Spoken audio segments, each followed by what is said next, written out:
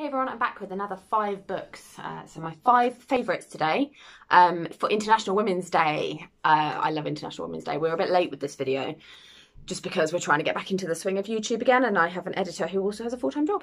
um, so I am recording this in my absolutely freezing cold conservatory, so I'm probably going to speak quite quickly so I can try and get the awesome content. I've got five books here. Um, calling them five favourites is a bit of a stretch because I've read two of them. I'm halfway through one, which is kind of a bit of a cheat, and the other two are on my shelf, and I'm very excited to read them. So, um, if you don't know what International Women's Day is, it is a day celebrated in March to celebrate the achievements of women, basically um, and to kind of raise awareness and work towards gender parity, which is just equality between men and women. So it's awesome. Um, and I love it. and you can check out our blog and everything for other things we've done in past International Women's Days. Um, and so I'm just going to crack on quickly.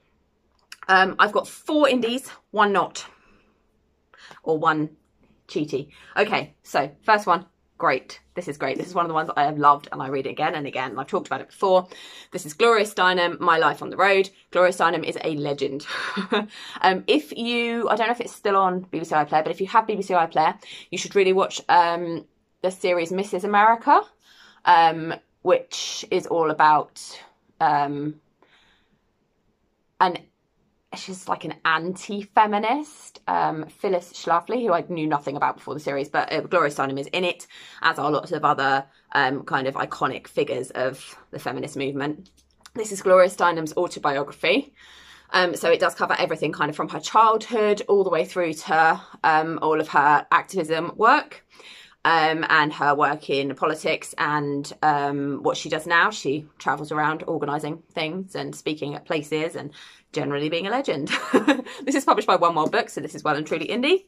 It is amazing. I think I'm on my fifth reread of it now, and it does not get uh, worse. It's just fantastic. It's inspiring and amazing, and she's just incredible. So I love her. Gloria Steinem, My Life on the Road is my number one actual favourite recommendation. Number two, you probably also have heard me talk about because I talked about it quite a bit and it is published by one of my favourite graphic novel publishers, which is Myriad Editions. This is Sensible Footwear, A Girl's Guide by Kate Charlesworth. Um, and it is graphic novel and it is incredible. It's so, it's beautifully drawn and it combines Kate Charlesworth's memoirs with the history of the LGBTQ plus movement in Britain. So it's really interesting, um, especially if you are a person who doesn't necessarily know much about that history, like me. I didn't. This educated me a lot. Um, and it's really beautiful. It's really well told. Um, and it's a really unique combination of things. So um, she kind of draws parallels between her life and things that have happened in history and it's just generally fantastic. Uh, yeah, as I said, this is published by Myriad Editions, who also publish loads of other fantastic graphic novels, and especially graphic non-fiction. They're really, really good for graphic non-fiction. So, yeah, that is Sensible Footwear, A Girl's Guide, Kate Charlesworth. So that's the last of my actual favourites. Um, I will say also you can check out our five favourite Persephone books video that uh, went up recently, and I've also uh, worked on a collaboration with Freebird, where I'm going to be recommending my five um, women writers I love. So there's lots of lots of womeny things for you to explore if you want to read more women. This video specifically, I wanted to focus on books that had more of a women's history kind of bent. So specifically for Women's History Month, which March is in the UK.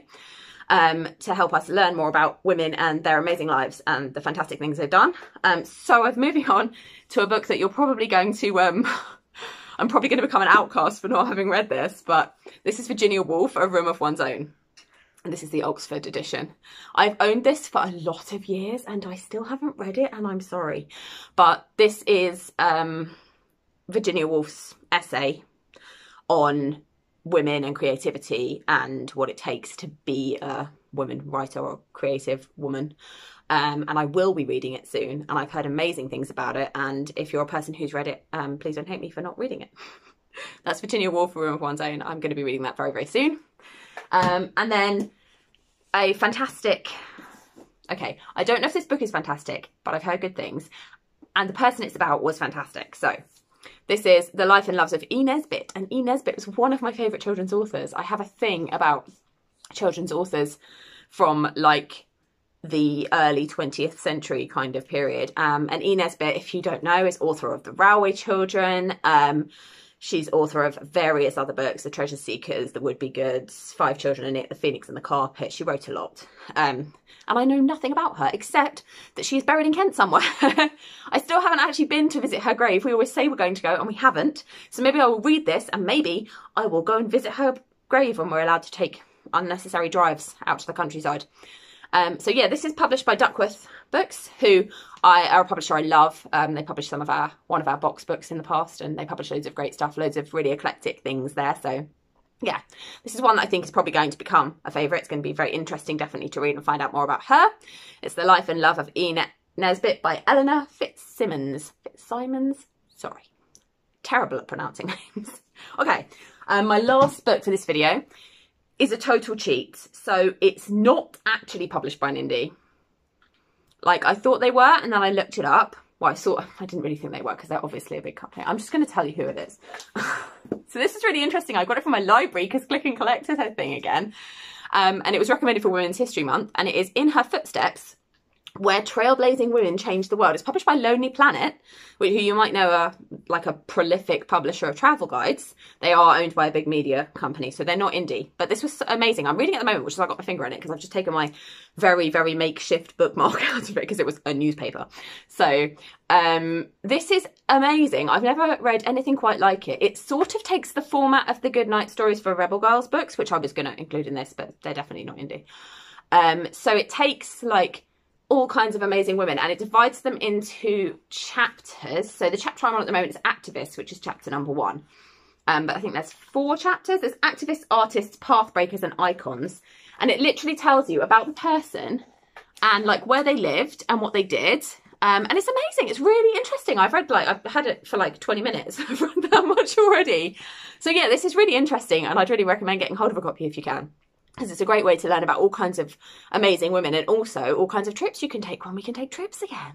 So it's a little bit of future planning and also brilliant women. So that's In Her Footsteps, um, where trailblazing women change the world. And it's published by Lonely Planet. So that's my five um, books about women's history and I would love to hear your recommendations because it's a subject I'm really, really interested in. I love memoir. I love well-written history books. I've also got Hidden Figures upstairs, um, which is not indie, but I'm, I loved the movie, so I'm excited to read that book as well. I've got quite a lot of books about women's history, but I'd love to hear your recommendations. So please do leave them in the comments. And as always, please do subscribe, share this video everywhere, um, and share me links to your videos with recommendations of, of women's history books and I will leave the links to our other video about Persephone books and the women writers I love in the description. And I will see you next time.